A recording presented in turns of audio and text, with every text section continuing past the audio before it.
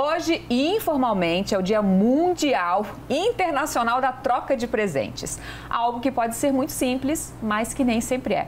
Por isso, o coordenador do PROCON de Chapecó, Gustavo Vendramin, é o nosso convidado. Gustavo, muito obrigada por ter vindo. Uh, é realmente, né? A gente pode dizer que é o Dia Mundial Internacional da, da Troca. Isso traz muitos problemas ainda? Boa tarde. Boa tarde, com certeza. É, hoje, nessa semana aí, passado o Natal, é, as pessoas, consumidores, irão utilizar essa semana para trocar aqueles presentes que não serviram, que não é, foram do gosto dos consumidores. Então, é, essa semana vai ser utilizado com certeza pelos consumidores para isso. E como é que chega isso para vocês, né? É, nos, nos, anos anteriores, a experiência, assim, dá muita confusão? Isso, a demanda aumenta é, sempre em datas específicas, né? Então, o Natal é uma delas. Uh, por quê? Porque a legislação prevê que a troca do, do produto só ocorrerá em caso de defeito ou naqueles momentos em que a compra foi feita pela internet, que o consumidor, ao receber o produto, tem sete dias para trocar, não é, necessitando que apresente um defeito, apenas que ele não, não, não goste do produto. Porém, é, é um acordo entre lojista e consumidor, é, como vai ser presente, é, que o consumidor possa trocar esse produto é, caso não sirva, não seja do gosto, tenham igual, é, então esclarecendo que não apresentando defeito. Uh, e o consumidor, ele, ele é um acordo tácito entre a, a empresa e, a, e, a, e, o consumidor e ele pode trocar, isso vai, vai ser é, como se fosse uma lei entre as partes. Então, é, a empresa oferecendo que pode haver essa troca, eles têm que trocar. As empresas geralmente agora colocam uma etiquetinha, né, dizendo que, que tem a troca e tal. É, sem essa etiqueta, o consumidor pode exigir? Como que funciona? É, é, o bom é que se tem uma garantia, ou se ou demonstre visualmente na empresa, é, com uma placa, ou a etiqueta, ou um cupom de troca, ou até o cupom fiscal, mas como é presente e a pessoa não quer que apresente o preço, mas eles são obrigados a trocar se eles oferecem essa benesse. Uhum. Já aconteceu até comigo de a minha filha ganhou um presente da minha irmã, e aí, quando a gente foi trocar, eles pediram o CPF da minha irmã. E a minha irmã, nessa, naquele dia, na hora da troca, na loja lá, não, não conseguia falar com ela, porque a gente não tinha o CPF dela e eles não trocaram. Isso pode realmente é, acontecer? A, a, o Código de Defesa do Consumidor, ele prevê a, a facilitação dessa eh, da legislação ao consumidor. Então, eles não podem é, começar a achar empecilhos para não realizar a troca. Então, a empresa oferecendo a troca, ele não pode é, colocar como eu preciso do CPF, eu preciso de um documento de quem deu. Então, é, não, não, não pode ser feito isso. A empresa tem que trocar. Uhum.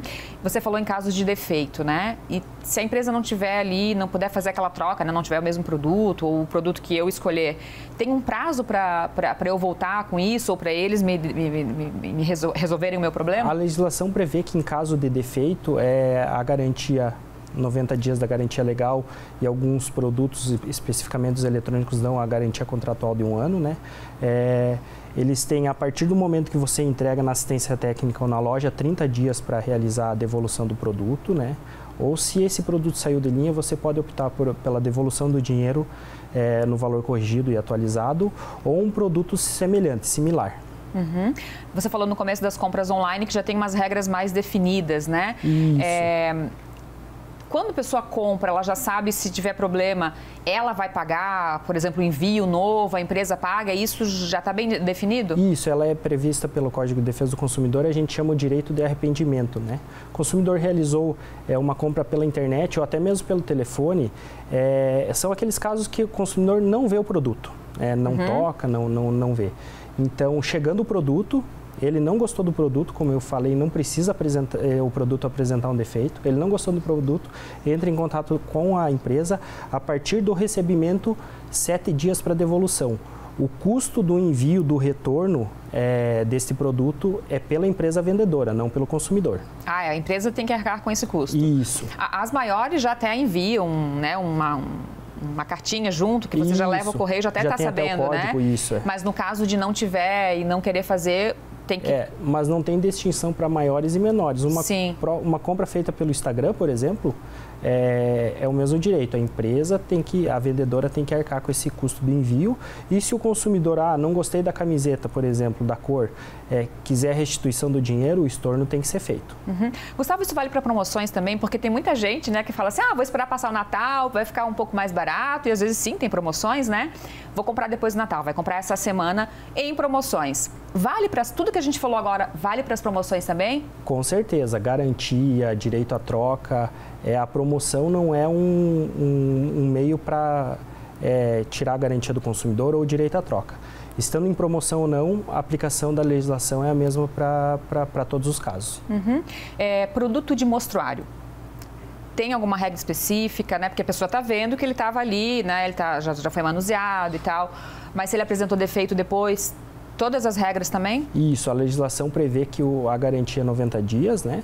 Algumas empresas dão o subsídio de aumentar essa, essa, essa garantia por mais nove meses, completando um ano, mas a garantia legal é 90 dias, não interessando se é monstruário, é, até para produtos usados existe a garantia, por exemplo, compra de, de veículos seminovos, então a garantia é aplicada para todo produto comercializado. Tá certo. Para a gente encerrar bem rapidinho, qual que é a tua dica, então, quem está agora assistindo Ver Mais, vai sair de casa à tarde para fazer as trocas?